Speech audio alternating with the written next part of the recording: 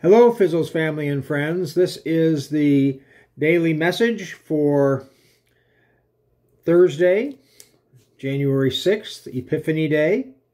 Uh, and today we will complete our readings from Jesus Crisis, the 2021 slash 22 Advent through Epiphany devotional book published by the Pilgrim Press and written by the authors of the UCC Still Speaking Writers Group.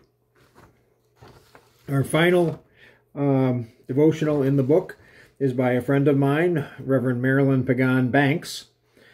And Reverend Pagan Banks is pastor of San Lucas UCC and executive director of A Just Harvest, an adjunct professor at McCormick Theological Seminary in Chicago.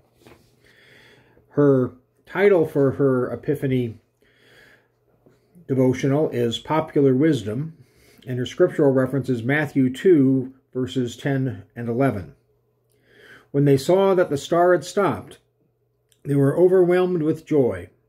On entering the house, they saw the child with Mary his mother, and they knelt down and paid him homage. And now her devotional. Dare I bring up what happened last year? Of course. I don't believe anyone will ever think of Epiphany and not remember the shocking and violent attack that took place on the nation's capital on January 6, 2021. I hope we remember not simply to stay stuck in our politics or hold on to trauma, but to observe, reflect, and learn. To do better and to be different. To expect and accept accountability. To continue healing, growing, and building so that we can do the work of ending hate and building the beloved community. This is why we repeat the biblical stories, so we can recall, remember, and recommit ourselves as followers of Christ. So we can learn from the lived experience, popular wisdom, and even human horrors found in these stories, and perhaps try to locate ourselves in them as we seek direction from yesterday's harms and for today's challenges. God wants us to live, heal, have joy, and be love, and will stop at nothing to make sure we experience it. The entire universe is conspiring on our behalf. Are we paying attention to the signs? Are we open to God's disruptive spirit, calling us to new possibilities? Are we ready to let go of our fear and privilege?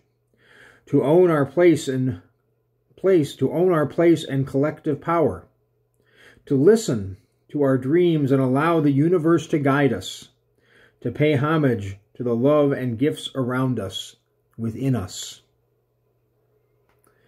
And her prayer. Thank you, Creator, for wisdom from unexpected places. We are grateful for the stars that guide the night, dreams that inspire and protect us, and your Son that leads us in love and power. Amen and Selah.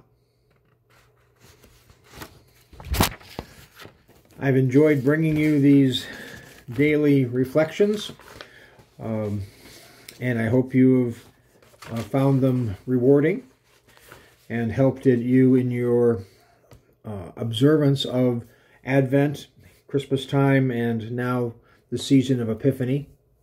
And so I hope that uh, we'll be able to continue these online discussions, particularly through the Saturday series on the Psalms, other periodic um, meditations or messages online uh, for reflection, and through the recorded worship services and our uh, weekly Zoom devotional following worship on Sundays.